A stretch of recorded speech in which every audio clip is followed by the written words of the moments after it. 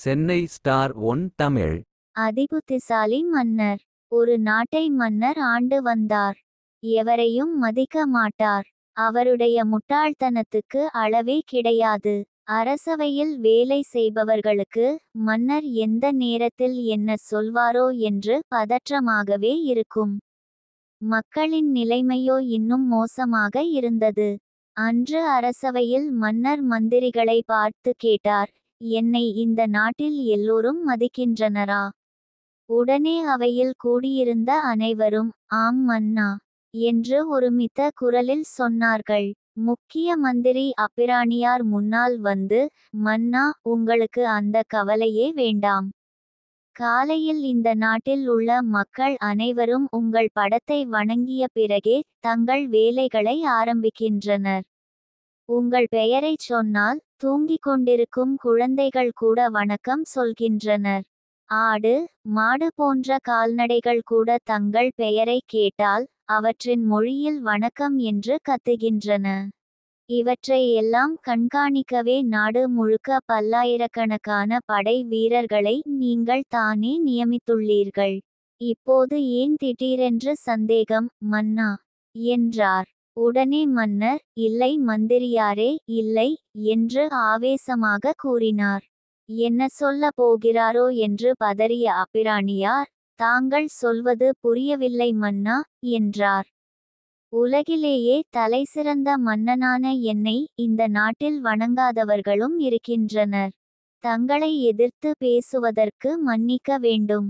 தங்களை வணங்காதவர்கள் நம் நாட்டில் இருக்கவே முடியாது மன்னா என்றார் அப்பிராணியார்.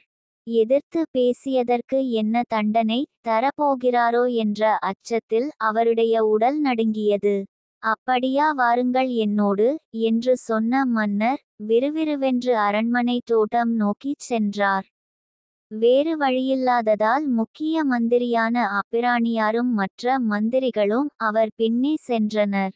மன்னர் அப்பிராணியாரை பார்த்து பார்த்தீர்களா மந்திரியாரே இந்த தோட்டத்தில் நான் வந்து நின்று சில நொடிகள் ஆகியும் அந்த மரம் என்னை வணங்கவில்லை இந்த செடி கொடிகள் என்னை வணங்கவில்லை. அதோ மேலே தெரிகிறதே வானம் அது என்னை வணங்கவில்லை இவ்வளவு ஏன் அதோ தூரத்தில் தெரிகிறதே அந்த மலை கூட என்னை வணங்கவில்லை என்று கோபப்பட்டார். மன்னா தாங்கள் எங்களுக்குத்தான் மன்னர்.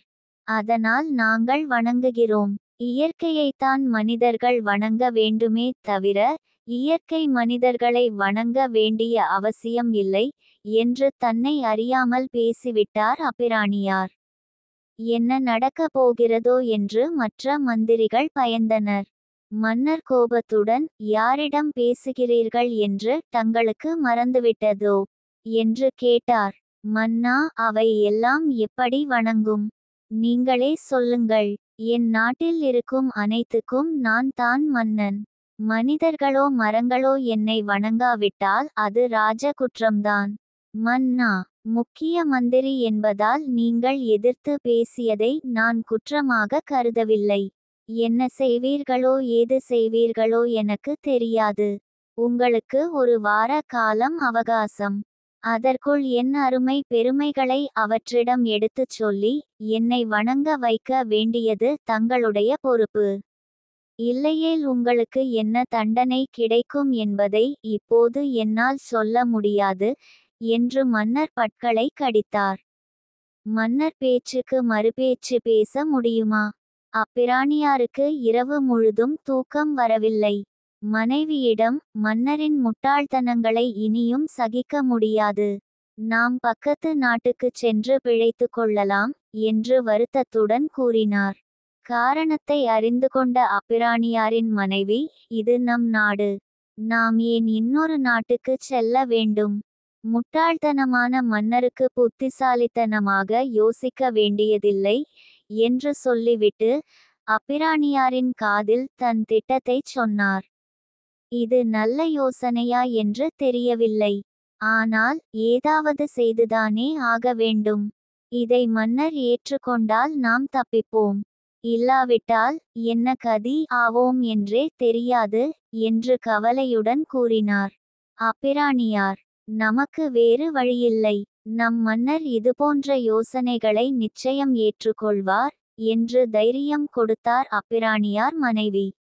அடுத்த இரு தினங்களில் அப்பிராணியார் அதைச் செய்து ஒரு ஒரு பட்டு துணியில் சுற்றிக்கொண்டு அரண்மனைக்குச் சென்றார். என்ன அப்பிராணியாரே என்னை பற்றி எடுத்துச் சொல்ல வேண்டியதெல்லாம் மரம் செடி கொடிகளுக்குச் சொல்லிக் கொண்டிருக்கிறீரா? எந்த அளவில் உள்ளது அந்த பணி?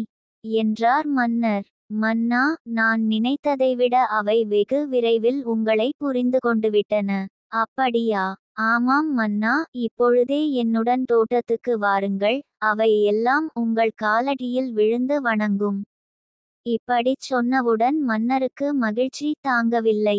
அவையிலிருந்த மற்றவர்களோ பயத்தில் அப்பிராணியாருக்கு புத்தி பேதலித்துவிட்டது என்றே எண்ணினார்கள்.